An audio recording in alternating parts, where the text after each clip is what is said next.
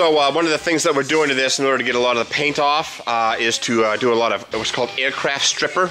And uh, it was done yesterday. I wasn't able to shoot video of it, but it goes on. It is a uh, kind of a, a, creamy, kind of a, a, thick, gooey substance that eats the paint off of any metal surface that you shoot it on. And uh, it's a lot easier and less abrasive than, say, media blasting the whole thing. This will be media blasted, but for the time being, in order to get a lot of this heavy paint off, we are uh, doing the aircraft stripper.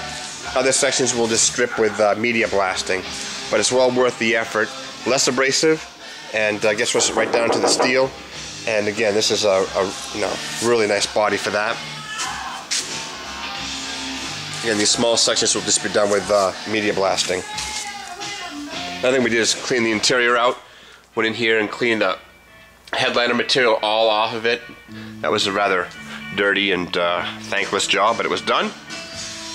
So here's our shell, just about ready to go off to the media blaster.